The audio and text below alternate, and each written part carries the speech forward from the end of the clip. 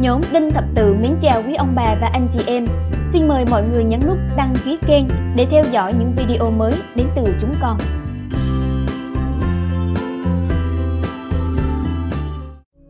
Kính thưa cộng đoàn, trong cuộc sống xung quanh chúng ta có rất nhiều những hiện tượng bí ẩn, huyền bí vượt xa các quy luật của tự nhiên, thách đố các nhà khoa học trên thế giới.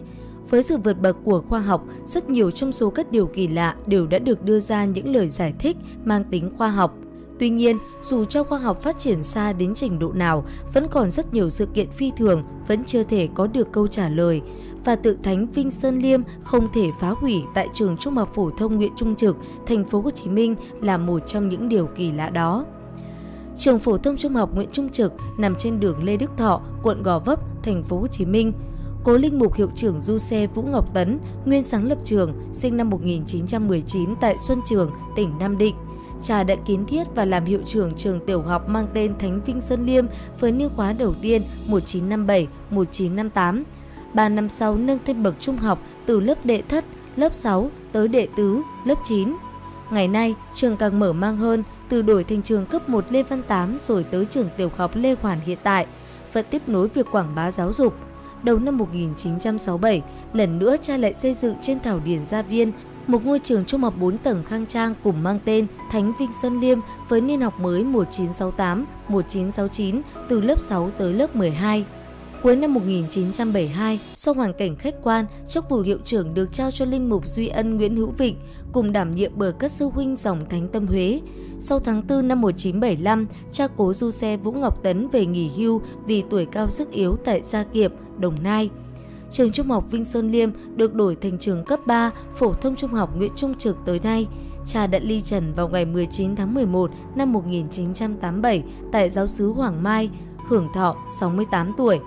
Trường được cha cố du xe Vũ Ngọc Tấn là cha sở tiên khởi giáo xứ Hoàng Mai xây dựng từ năm 1954 mang tên Thánh Vinh Sơn Liêm với bức tượng thánh sừng sững oai nghi giữa sân trường.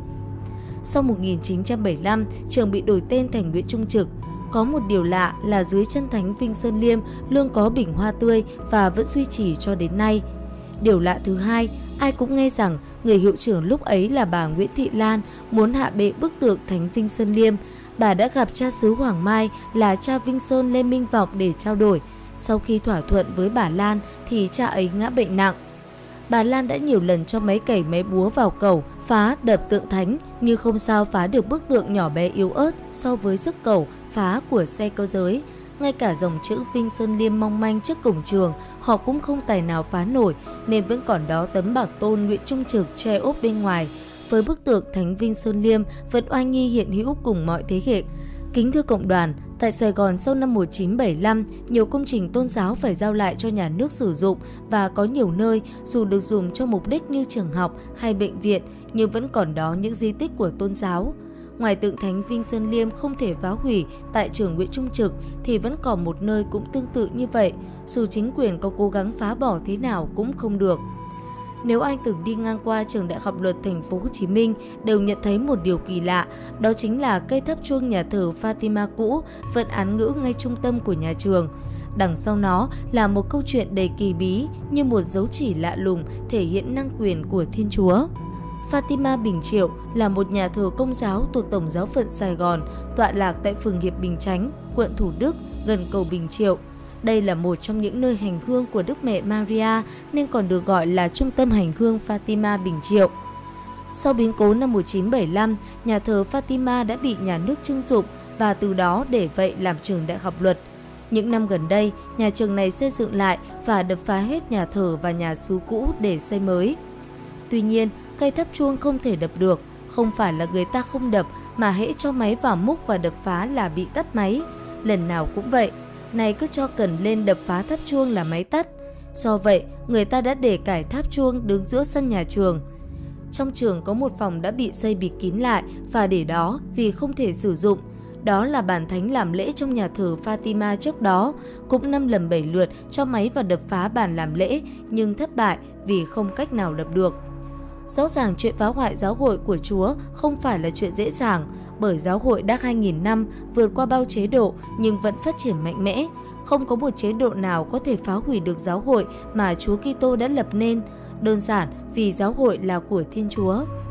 Cuộc sống có những điều rất khó lý giải bởi nó hoàn toàn không tuân theo bất cứ một quy luật khoa học nào mà chúng ta đã từng biết.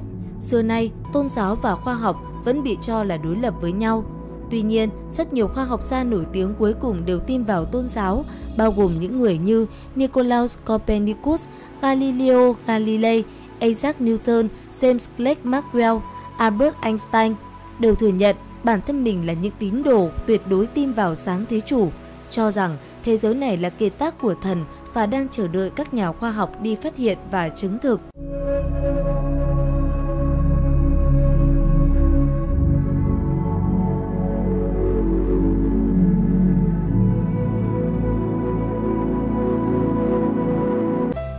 Đinh Thập Tự cảm ơn quý ông bà và anh chị em đã đón xem.